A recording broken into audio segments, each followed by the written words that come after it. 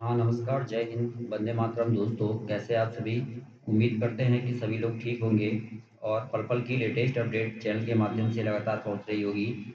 दोस्तों, जैसा कि आपको स्क्रीन पर दिखाई दे रहा है, स्पष्ट रूप से लिखा है कि सक्षमता परीक्षा के जिला आवंटन को लेकर गुड न्यूज़ आज ही मिलने की संभावना।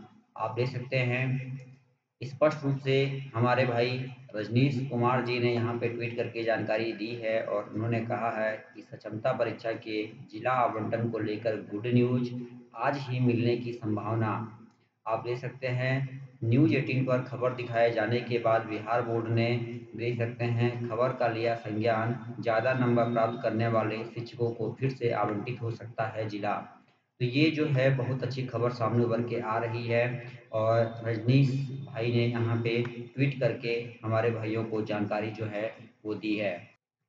आगे लिखा है मई महीने में सक्षमता परीक्षा 2.0 आयोजित होगी, घोषणा दो दिन बाद सक्षमता परीक्षा के प्रथम चरण शामिल वैसे अभ्यर्थी जिनको जिला का फ़र्स्ट चॉइस नहीं मिल सका है, उन्हें सक्षमता परीक्षा दो दो में देख सकते हैं, स्पष्ट रूप से लिखा है कि परीक्षा जो है, दो में परीक्षा देने का मौका मिलेगा। और कहा जा रहा है कि जो लोग असफल हुए हैं, उनके लिए मई महीने में कहा जा रहा है कि जो सक्षमता परीक्षा है, उसका आयोजन जो है, वो किया जाएगा। घोषणा दो दिन बाद जो है, वो प्रारंभ हो जाएगी। तो ये बड़ी अपडेट आ रही है सक्षमता परीक्षा के प्रथम चरण को लेकर। और बड़ी ब्रेकिंग न्यूज़ आ रही है।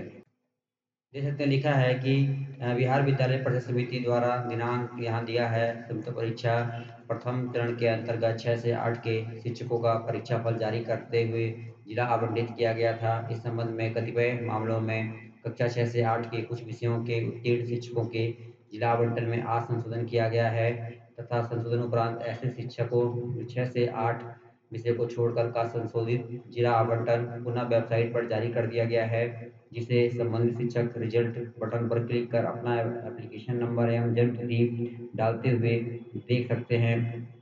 इन सभी शिक्षकों के परीक्षा फल में किसी प्रकार का संशोधन नहीं किया गया है। इसके साथ ही कक्षा छः से आठ के शारीरिक शिक्षा विषय में कल जारी किए गए परीक्षा फल तथा जिला आवंटन दोनों में संशोधन किया गया है। तो ये भी अपडेट जो है वो आ रही है। आगे देखिए, विजय कुमार चौधरी जी क्या कहना है कि सभ्यता परीक्षा में शामिल शिक्षकों में से 95 परसेंट शिक्षक उत्तीर्ण है, सरकार ने पूरा किया वादा।